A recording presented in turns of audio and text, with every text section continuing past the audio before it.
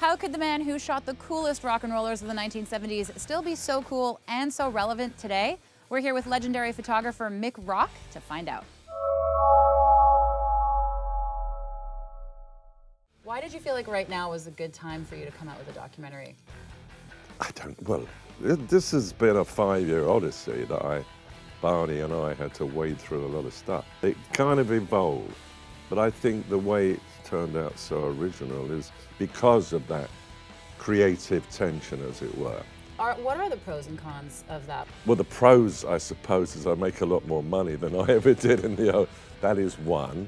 The downside is I don't get to shoot every day like I did when I was young because that's all I did. But it wouldn't work nowadays because I'm far too ancient, you know. So. It's. Well, it's relative, yes.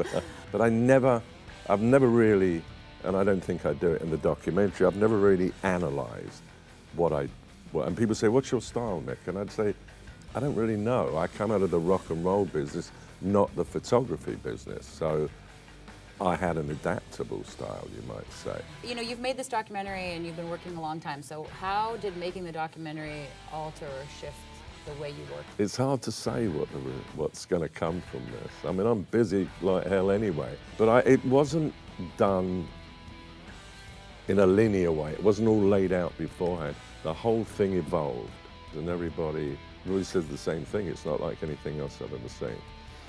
And um, that to me is good. Whether you like it or not, I wanted an adventure. And I fucking got it in spades, you know. I always knew that this was the life I was meant to live.